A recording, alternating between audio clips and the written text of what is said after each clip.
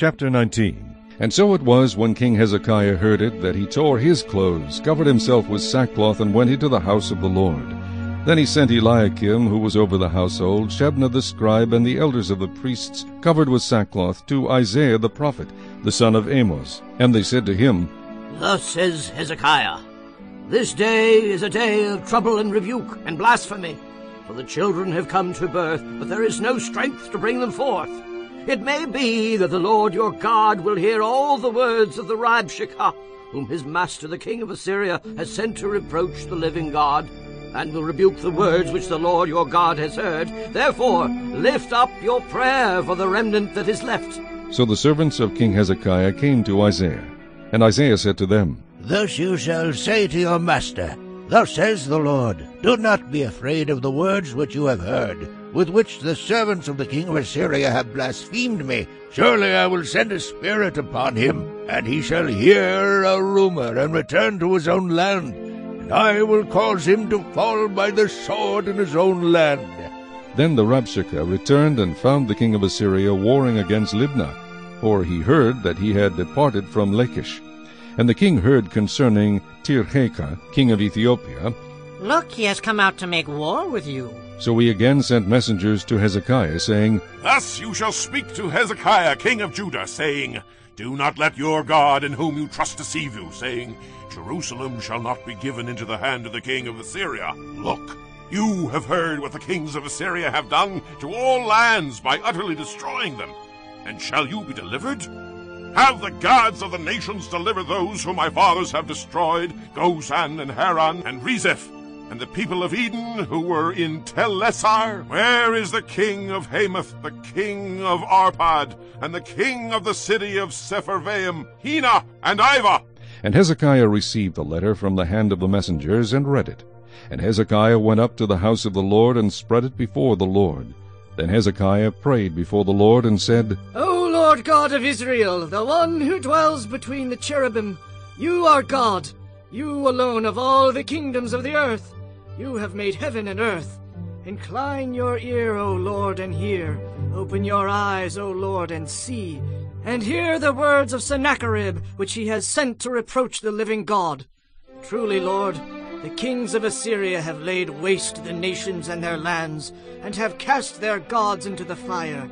For they were not gods, but the work of men's hands, wood and stone. Therefore they destroyed them. Now, therefore, O Lord our God, I pray, save us from his hand, that all the kingdoms of the earth may know that you are the Lord God, you alone.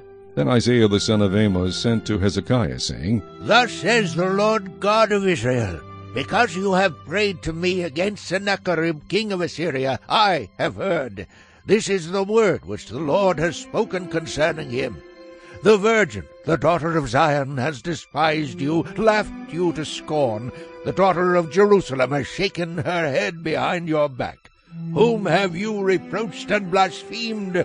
Against whom have you raised your voice and lifted up your eyes on high? Against the Holy One of Israel. By your messengers you have reproached the Lord, and said, By the multitude of my chariots I have come up to the height of the mountains to the limits of Lebanon. I will cut down its tall cedars and its choice cypress trees. I will enter the extremity of its borders to its fruitful forest. I have dug and drunk strange water, and with the soles of my feet I have dried up all the brooks of defense. Did you not hear long ago how I made it? From ancient times that I formed it. Now I have brought it to pass that you should be for crushing fortified cities into heaps of ruins. Therefore their inhabitants had little power. They were dismayed and confounded. They were as the grass of the field and the green herb, as the grass on the housetops and grain blighted before it's grown.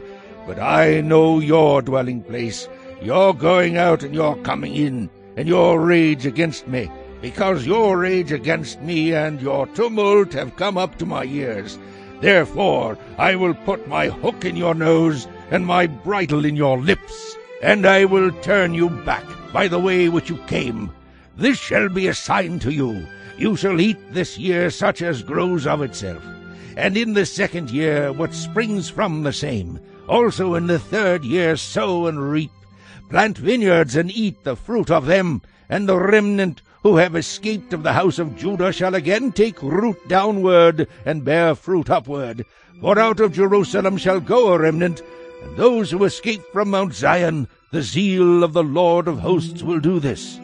Therefore thus says the Lord concerning the king of Assyria, He shall not come into this city, nor shoot an arrow there, nor come before it with shield, nor build a siege mound against it. By the way that he came, by the same shall he return, and he shall not come into this city, says the Lord, for I will defend this city to save it, for my own sake and for my servant David's sake. And it came to pass on a certain night that the angel of the Lord went out, and killed in the camp of the Assyrians one hundred and eighty-five thousand. And when people arose early in the morning, there were the corpses all dead. So Sennacherib king of Assyria departed and went away, returned home, and remained at Nineveh. Now it came to pass, as he was worshipping in the temple of Nisroch his god, that his sons Adrammelech and Sharezer struck him down with a sword, and they escaped into the land of Ararat. Then Esarhaddon his son reigned in his place.